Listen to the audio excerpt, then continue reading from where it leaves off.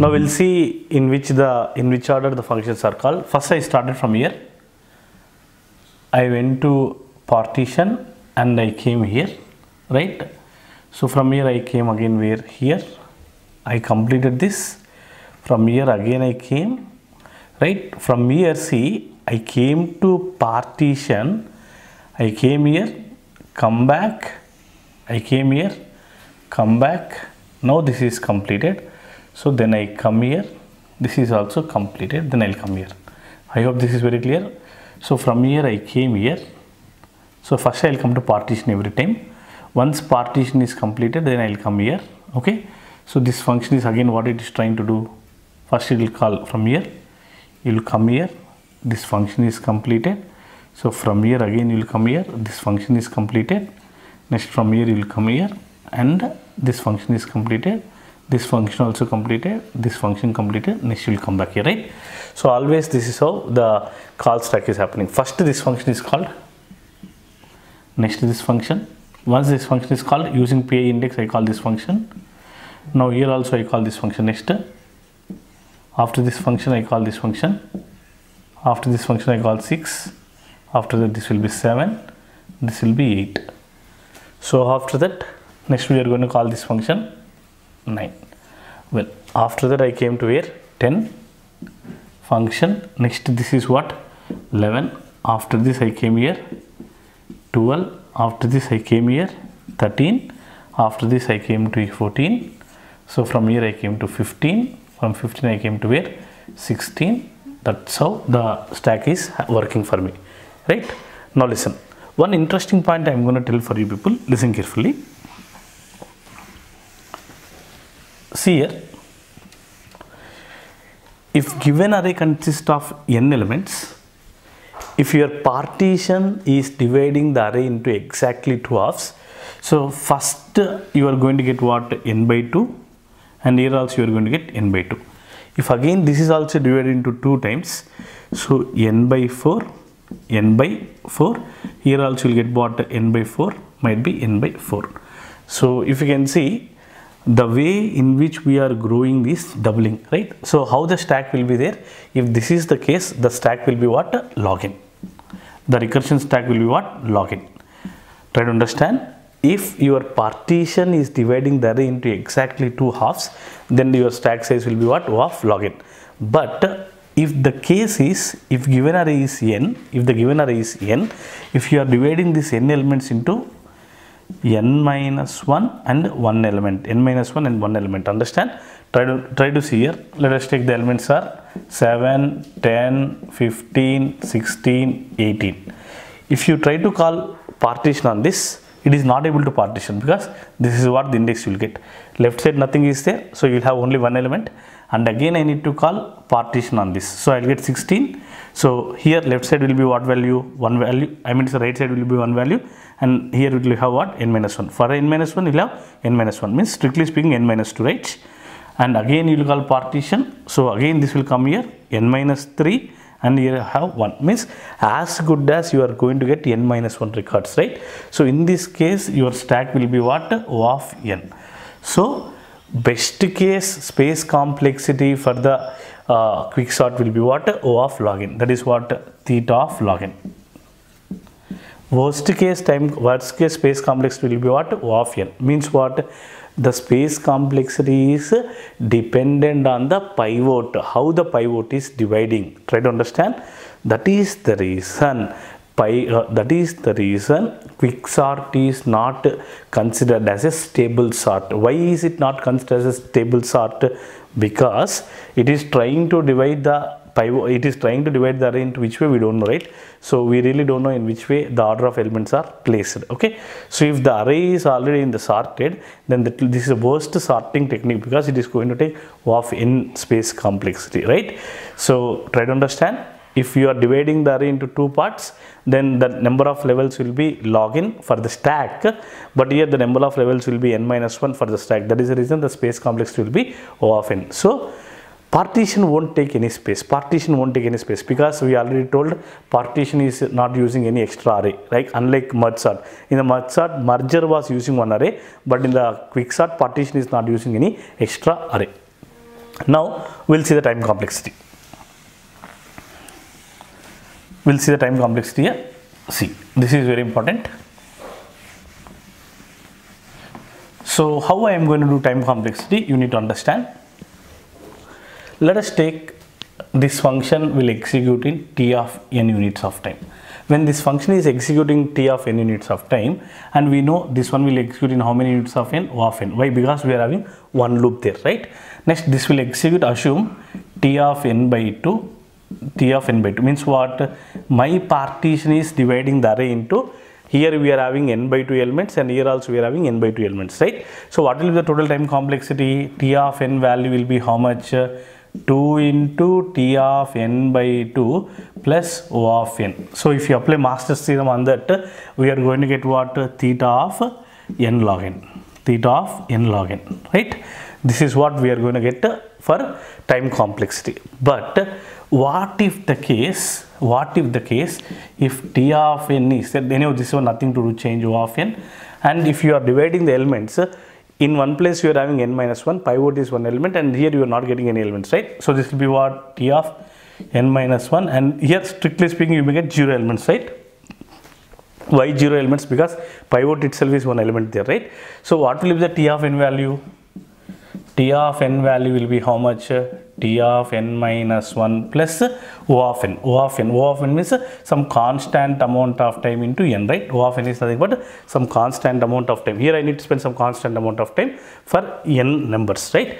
Now if in the place of n if you substitute t of n minus 1 this, this value will be how much t of n minus 2 see in the place of n what i am substituting?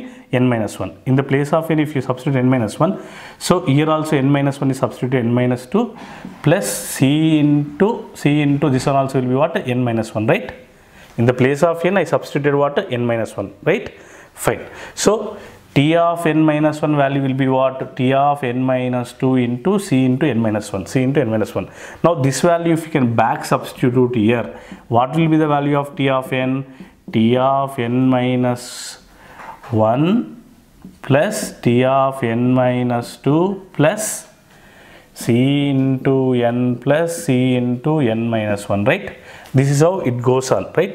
So when it goes on what will be the value will have c1 into c2 I, I mean to say c1 plus c2 plus c into n minus 1 plus c into n. So if you can take common here c is a constant time. So what can i take? 1 plus 2 plus 3 plus n right?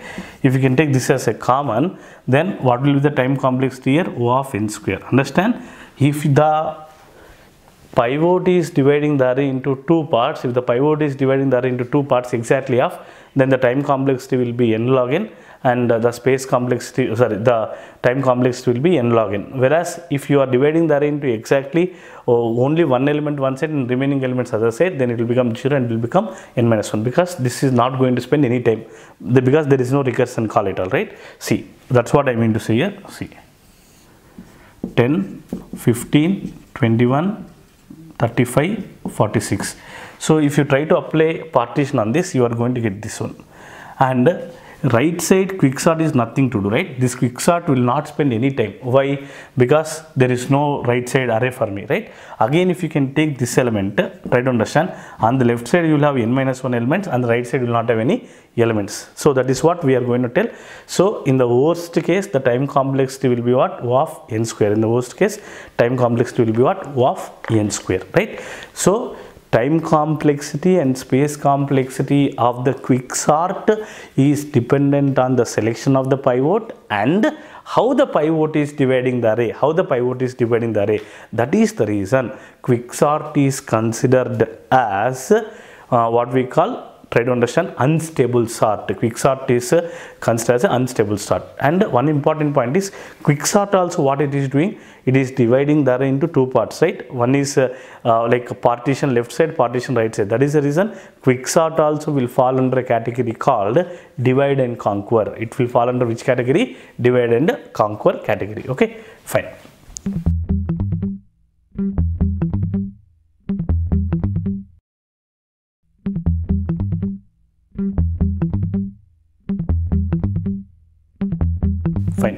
so Now we'll see the summary what we learned, right? First what we learned, bubble sort. Next what we learned, insertion sort. Next what we learned, selection. Next merge sort. Next quick sort. Right? Now what I am trying to do is, here it is a time complexity, here it is a space complexity, here it is a space complexity. What are the bubble sort time complexity? O of n square, space complexity O of 1. Insertion sort, space complexity, I mean time complexity O of n square, space complexity O of 1. Selection sort, O of n square, O of 1. Next merge sort, it takes what? O of n log n. Right? Why O of n log n? Because uh, we are going to spend the time on uh, dividing the array and again copying and uh, for what we call recursion also we are going to take some time and uh, space complexity will be O of n. Space complexity will be what? O of n. Why space complexity is O of n? Because we divided the array. We divided the array. Next quick sort. I am talking about best case. I am talking about best case. What is the best case? O of n log n. Of log n. See, why, why best case? Because I am trying to divide the array into exactly two halves. If I am trying to divide the exactly array into two halves, here it is going to take the stack size only. Here, stack size, strictly speaking, in the merge sort, merger will take O of log n plus extra array will take O of n. That is the reason I approximated this to what O of n. See, if I can talk about best case, in these four sorting techniques, which two sorting techniques are faster? Merge sort and quick sort are faster. But quick sort is taking less space. That is the reason as a convention, the name came as a quick sort. Strictly speaking, quick sort is not the fastest sorting technique. Merge sort is only the most fastest sorting technique. Why? Among four. Why? Because it is always working in the same way. It is always working in the same way. Next, some other important conclusions I am gonna derive for you. Okay, listen. In the worst case, so I keep this as theta. In the worst case, this will become what O of n square and this will become what O of n. This is as bad, as bad as bubble sort. Understand? See, bubble sort is also running O of n square, quick sort is also running O of n square, but whereas space complexity is it, it is hitting as O of n, but this is O of 1. This is as worst when compared to bubble sort. But when it comes to best case, this is the best sorting technique because space is uh, space is also occupying very less and time is also very less, right? So you need to know when should I use a quick sort. If you, if there is any pivot that is dividing the array into exactly two halves, then the quick sort will be the fastest sorting technique. But in the real time, that won't might happen. We need to really check. I hope this is very clear. Next, there are some other properties you need to understand. First four sorting techniques are called first four sorting techniques are called stable algorithm stable sortings stable only quick sort is called what unstable why because best case and worst case are varying further but all this best case and worst case are same fine next last two sorting techniques are called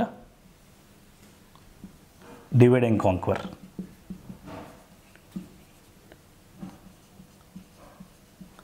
Why? Because in these two algorithms, we are dividing the array into two parts and we are trying to manipulate the array. That is another point.